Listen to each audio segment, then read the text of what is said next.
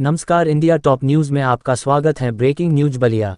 रविंद्र कुमार बने बलिया के नए डीएम। उत्तर प्रदेश के जनपद बलिया से है, जहाँ नवागत जिलाधिकारी श्री रविंद्र कुमार ने कोषागार में अपना पदभार ग्रहण कर लिया। वे 2010 बैच के आईएएस अधिकारी है। नए जिलाधिकारी मूलतः कौशाम्बी के रहने वाले हैं। वह इससे पहले उन्नाव और कन्नौज में जिलाधिकारी के रूप में कार्य कर चुके हैं। इसके अतिरिक्त श्री रविंद्र फ़ूड अपर आयुक्त के रूप में तथा आगरा, सहारनपुर। संत कबीरनगर तथा बहराइच में भी अपनी सेवा दे चुके हैं। बलिया जनपद में आने से पूर्व वह विशेष सचिव आबकारी के पद पर कार्यरत थे।